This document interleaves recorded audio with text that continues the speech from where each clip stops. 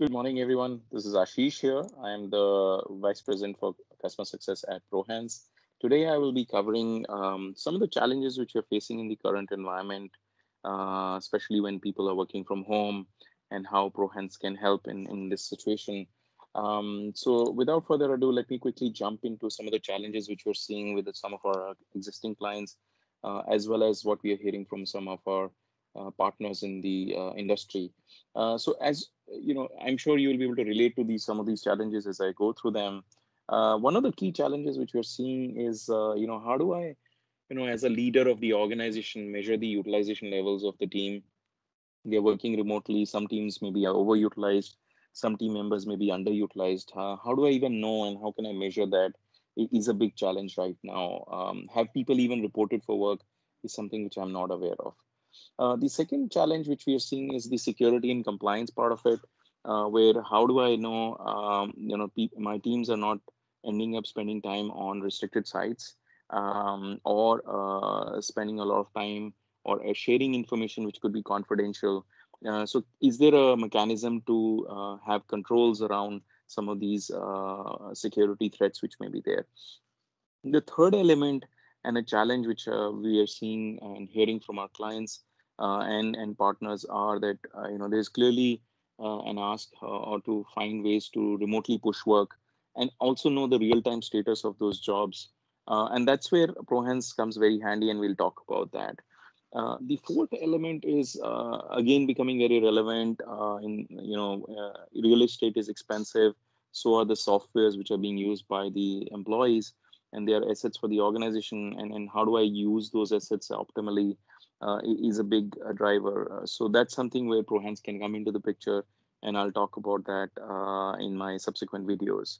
Uh, and then finally uh, you know as covid-19 has hit the the world people are working from home and unfortunately people are ending up working long hours and it's not good for their health so how can uh, you know find uh, how can I find a solution which can help them in uh, you know making sure that they're taking the breaks on time, they're not continuously sitting for long hours uh, is something which uh, we'll talk about uh, in our subsequent videos.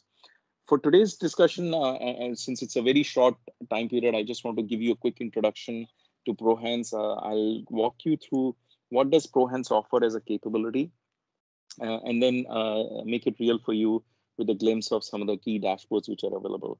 Uh, so ProHance actually offers about six uh, uh, modules which are uh, key to the challenges which we just discussed. So first one is the work time, which covers the utilization. The second one is more focused around work output. So you can actually compare the work output against the work time. Uh, and you can look at it at any duration. You can look at it for a day, month, or a week. Uh, the third element is the advanced analytics, or the uh, which actually helps in uh, doing long-term analysis. Uh, so let's say you want to compare data for last six months.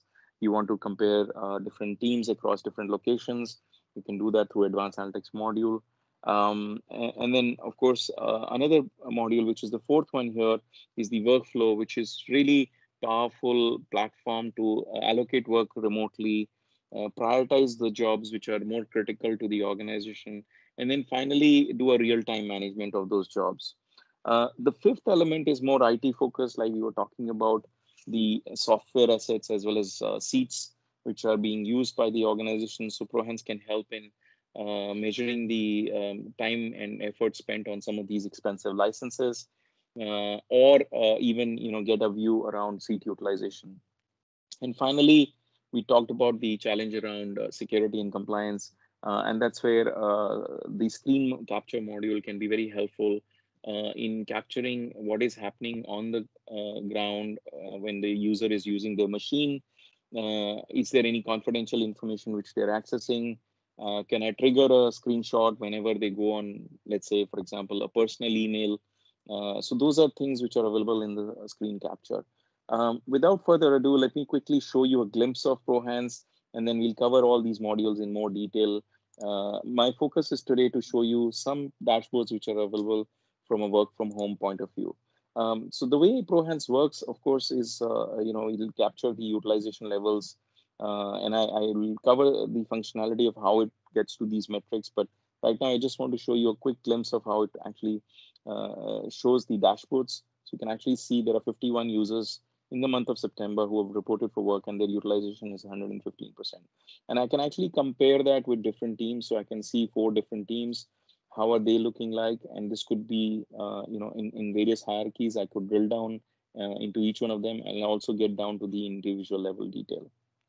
Secondly, I can also do a, a quick view of uh, current activity, uh, which means uh, if people are working from home, how many people have actually reported for work? So I can actually see it from here. There are 44 people right now who have reported for work uh, on, on Wednesday, 16th of September. And out of that, about 305 hours is the expected time, which I'm expecting uh, today based on the headcount. and this is configurable. Uh, and, and right now I've got about 12% of the productive time. So this is again very powerful for the manager to look at how many people are available today.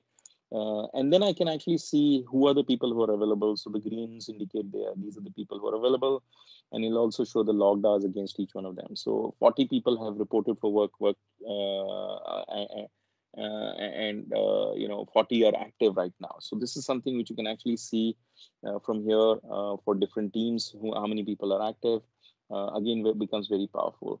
One of the other dashboards which is very helpful in the work from home scenario uh, is how much work is happening out of home and how much work is happening out of office because you may have uh, partial teams coming into the office.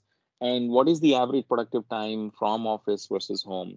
So that is again you can uh, drill down into these reports and get a glimpse out of it. So this is just a quick uh, overview and a snapshot of work from home.